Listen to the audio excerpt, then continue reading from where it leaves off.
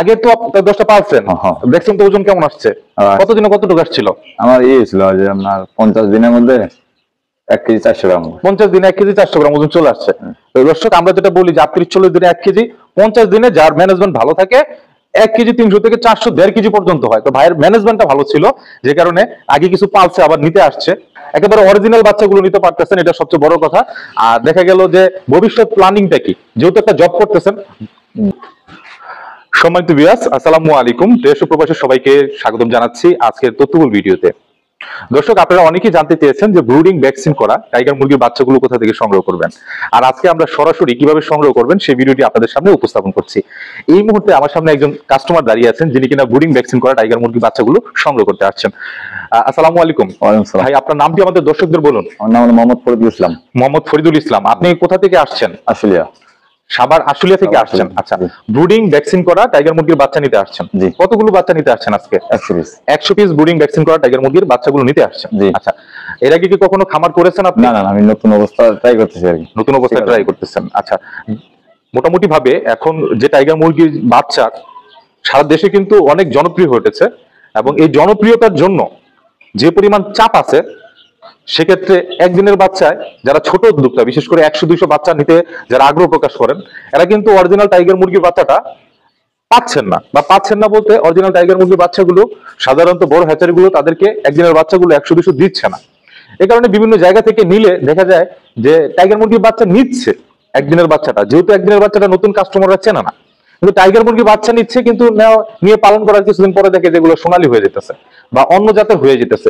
এজন্য আমরা পরামর্শ দিই যে যারা ছোট অল্প করে বা ছোট করে শৌখিন খামারি যারা আছেন তারা একেবারে জুট ঝামেলা মুক্ত ব্রুডিং ভ্যাকসিন করা টাইগার মুরগির বাচ্চাগুলো নিলে কারণ খামার থেকে দেখাই যাচ্ছে যে বাচ্চাগুলো অরিজিনাল সাধারণত আমরা ভিডিওতে যে বাচ্চাগুলো দেখাই এই বাচ্চাগুলো তো সেম একই রকম। তাহলে আপনি খুব সহজে বুঝতে পারতেছেন যে না আপনি অরিজিনাল বাচ্চাটা নিতে পারতেছেন কিন্তু একদিনের বাচ্চাটা তো আপনি বুঝতে পারতেছেন না। আপনারা যদি অন্য জাতের বাচ্চাও দেয় তা আপনি সেটা বুঝতে পারবেন না। যেমন অনেকেই আমাদের ইউটিউব বা ফেসবুকে জানান যে ভাই আমি নিয়েছি আমার বাসায় বাড়িতে টাইগার মুরগির বাচ্চা নিয়ে আসছিল আমি এত টাকা পিস কিনছি কিন্তু মুরগি তো দেখলাম বিভিন্ন কালারের কিছুদিন পর দেখতেছি সব সাদা হয়ে গেছে। তো একটা শ্রেণির মানুষ আছে যারা আসলে বাসা বাড়িতে টাইগার মুরগির বাচ্চা বলে বিক্রি করে এগুলো সাধারণত টাইগার মুরগির বাচ্চা না। এগুলো ককের বাচ্চা বিভিন্ন সোনালির বাচ্চা বিগ্রেড গ্রেড সি গ্রেড বাচ্চা এরা রং করে বিক্রি করে।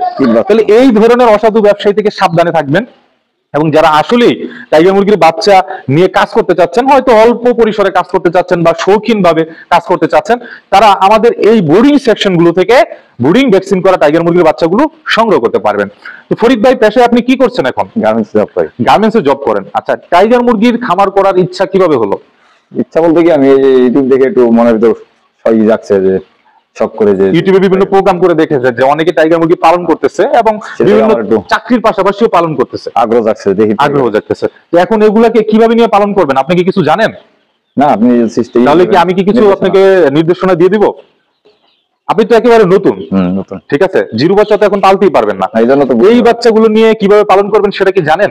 না আমি জানি না জাস্ট ইউটিউবে দেখছিলাম যে ভালো তারপর আপনার নিজস্ব নিয়ে আমি চলে আচ্ছা ঠিক আছে। ঘরটা কোথায় করছেন? মানে কোন জায়গার জায়গাতে পাশেই। বাসার পাশেই ঘর করছেন? আচ্ছা। বারো ফিট বাই চোদ্দ ফিট একটা বারো ফিট বাই চোদ্দ ফিটের একটা ঘর করছেন। প্রথমত ঘরে এই যে এরকম যে লিটারগুলো দেখছেন এখানে হ্যাঁ, কাঠের বসি বা মাথা মাচা করছেন। তো মাচার উপরে কিছু দেন নাই আপাতত? রাখছেন। তার উপরে আপাতত কিছু দেওয়ার মতো কিছু ব্যবহার করেন নাই কাঠের গুড়ি বা ধানের তুষ। আচ্ছা যেহেতু বাচ্চাগুলো এখন লিটার পদ্ধতিতে আছে আপনি যদি সরাসরি মাচায় দেন সেক্ষেত্রে বাচ্চার সমস্যা হতে পারে। আপনি যেটা করবেন আপাতত দুই তিন দিন ওই মাচার উপরে কিছু বিছিয়ে দিবেন। হ্যাঁ ছালা বিছাই দিবেন। চটের ছালাও বিছায় রাখতে পারবেন। হ্যাঁ চটের ছালা বিছাইয়া ওইখানে রাখবেন। অনেক সময় দেখা গেল যে বাচ্চাগুলো এক জায়গা থেকে আরেক জায়গায় গেলে যদি তাপমাত্রার ভারসাম্য না থাকে বাচ্চাগুলোর একটু সমস্যা হয়।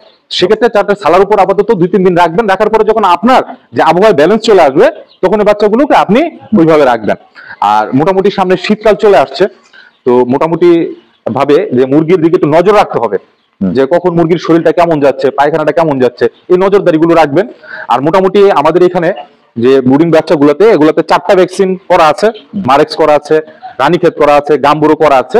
রানীক্ষেত গাম্বুরো বুস্টার করতে হবে। কতদিন আমি লিখে দিচ্ছি বলে দিচ্ছি। আর কিছু গুরুত্বপূর্ণ ঔষধ আপনাকে সাজেস্ট করে দিচ্ছি। আর কোনো সমস্যা হলে চব্বিশ ঘণ্টা আমাদের লাইনে যোগাযোগ করবেন। যে কোনো সমস্যা হবে ইনশাল্লাহ আমরা আপনাদেরকে সেবা প্রদান করব। ঠিক আছে। আচ্ছা অনেক দূর থেকে তো আসছেন। হ্যাঁ। আসার পরে কি আপনার কাঙ্ক্ষিত বাচ্চাগুলো দেখে আপনার কেমন অনুভূতি হচ্ছে? না একটু ভালো যাচ্ছে ভালো লাগতেছে? জায়গা মতো আছে পরিস্থিতি এটাই ভালো। আচ্ছা। একেবারে অরিজিনাল বাচ্চাগুলো নিতে পারতেছেন এটা সবচেয়ে বড় কথা। আর দেখা গেল যে ভবিষ্যৎ প্ল্যানিংটা কি? যেহেতু একটা জব করতেছেন। জবের পাশাপাশি ট্রাই করতেছি যদি এখানে যে না আসলেই এর ভিতর কিছু ভালো মন্দ আছে তাহলে দেখা যায় যে ট্রাই করলাম বড় করে। আর যদি মানে এটার ভিতরে তো অবশ্যই ভালো মন্দ আছে কিন্তু সেটা বিষয়টা হচ্ছে যেমন কেন ভালো মন্দটা আছে আমি আপনাকে বুঝাই দিচ্ছি। যেমন টাইগার মুরগিটার বর্তমানে যে পরিমাণ চাহিদা আপনি এর আগে আমাকে একটু বলেন আপনি কি এটা মাংসের জন্য করবেন না ডিমের জন্য? প্রথম অবস্থায় মাংসের জন্য প্রথমত মাংসের জন্য করেন। মাংসের জন্য করে থাকলে এটার মাংস তো ভালো। এই কালারফুল যত মুরগি আছে সবচেয়ে বেশি মাংসের ওজন আসছে টাইগার মুরগিতে। যদি ডিমের জন্য করেন দেখা গেল দশটা পালছিলাম। আগে তো দশটা পারছেন হ্যাঁ, হ্যাঁ। দেখছেন তো ওজন কেমন আসছে? হ্যাঁ। কতদিনে কতটুকু আসছিল? আমার ইয়ে ছিল যে আপনার পঞ্চাশ দিনের মধ্যে এক কেজি চারশো গ্রাম। পঞ্চাশ দিনে এক কেজি চারশো গ্রাম ওজন চলে আসছে। দর্শক আমরা যেটা বলি যে আটত্রিশ চল্লিশ দিনে এক কেজি পঞ্চাশ দিনে যার ম্যানেজমেন্ট ভালো থাকে এক কেজি তিনশো থেকে চারশো, দেড় কেজি পর্যন্ত হয়। তো ভাইয়ের ম্যানেজমেন্টটা ভালো ছিল, যে কারণে আগে কিছু পালছে আবার নিতে আসছে। সেই সেই জায়গা থেকে আবার কিন্তু নিতে আসছে যে, না, আমি পারব। সে একটা চিন্তা শক্তি তার ভিতরে জন্ম নিয়েছিল। তো আমি যে জায়গাটায় ছিলাম, যে অন্য সকল মুরগির বাচ্চার দাম কিন্তু একেবারে পাঁচ টাকা, দশ টাকা পর্যন্ত চলে আসে। এটা যদি ডিমের জন্য করা হয়, বর্তমানে আমার দেখা মতে তিরিশ, চল্লিশ টাকার নিচে বাচ্চার মূল্য নামে না সাধারণত। আর বর্তমানে তো সবচেয়ে হাইস্ট মুরগি বাচ্চার দাম চলতেছে। তো সেক্ষেত্রে টাইগার মুরগি আপনি মাংসের জন্য পালন করেন বা ডিমের জন্য? দুটোই লাভজনক তবে সবচেয়ে বড় বিষয়টা হলো আপনাকে খুঁজে বের করতে হবে কোথা থেকে অরিজিনাল বাচ্চাটা আপনি পাবেন। লাভটা তখনই হবে যখন আপনি ভালো কিছু পাবেন। যেমন একটা কথা আছে প্রবাদে বৃক্ষ তোমার নাম কি? ভালো পরিচয়। এখন সে ভালো ফলটা পেতে গেলে ভালো বীজটা রোপণ করতে হবে। আর ভালো বীজটা রোপণ করতে গেলে এই যে এত দূর থেকে কষ্ট করে আসছেন যখনই ভালো মালটা নিতে পারবেন ভালোভাবে পরিচর্যা করতে পারবেন ভালো রেজাল্ট আনতে পারবেন তখন আমাদের নিজের কাছেও ভালো লাগবে যে না ভাইকে আমি একটা জিনিস দিয়েছি ভাই আমাদের কাছে একটা জিনিস নিয়েছে এখন সে সেটা থেকে ভালো কিছু করতে পারছে। আমি কি বুঝাইতে পারছি? আর রোগ বালাই তো অবশ্যই থাকবে যদি সঠিকভাবে কাছে পালন করতে পারেন আশা করি এগুলো রোগ বালাই খুব কম হয় ঠিক আছে? শুধু আবহাওয়াজনিত কারণে ঠান্ডার সমস্যা হতে পারে সকল মুরগিরই হয় ঠান্ডার একটু চেক দিয়ে রাখবেন। আর পায়খানা জনিত কোনো সমস্যা হলে জানাবেন আর আমি কিছু ওষুধ আগে থেকে সাজেস্ট করে দিব যে ধরনের ভিটামিন ব্যবহার করলে এই ধরনের সমস্যাগুলো কম হয়। তো ভিডিও আমি দীর্ঘায়িত করব না। ভাই যেহেতু দূর থেকে আসছে ভাইকে আমি ব্রুডিং ভ্যাকসিনগুলো টাইগার মুরগির বাচ্চাগুলো দিচ্ছি এবং সম্পূর্ণ গাইডলাইন দিয়ে দিচ্ছি। এবং যারা নতুন আছেন আমি বলব না আমাদের কাছ থেকে বাচ্চা নেন আপনি যে কোনো জায়গা থেকে বাচ্চা নেন দেখে শুনে ভালো বাচ্চাটা নিয়ে যদি কাজ করতে পারেন ইনশাল্লাহ ভালো রেজাল্ট পাবেন। ফরিদ ভাই ভালো লাগল আপনার সাথে কথা বলে। আর ইনশাল্লাহ যদি ভাই আরও পথ পাড়ি দেয় এবং মোটামুটি ভালো কিছু করতে পারে। আমি ওনার খামারে যাব ইনশাল্লাহ আপনাদের সাথে দেখাবো উনি কীভাবে কাজ করতেছে। সে পর্যন্ত সবাই ওনার জন্য দোয়া করবেন আমাদের জন্য দোয়া করবেন। আর অবশ্যই আপনাদের মতামতগুলো আমাদের কমেন্ট সেকশনে জানাবেন। ভালো থাকুন সুস্থ থাকুন আমাদের সঙ্গেই থাকুন। ভালো থাকুক আপনার পোষা প্রাণীগুলো। শুভকামনা বিদায় নিচ্ছি। আল্লাহ হাফেজ। থ্যাংক ইউ ভাই। ধন্যবাদ। আসুন।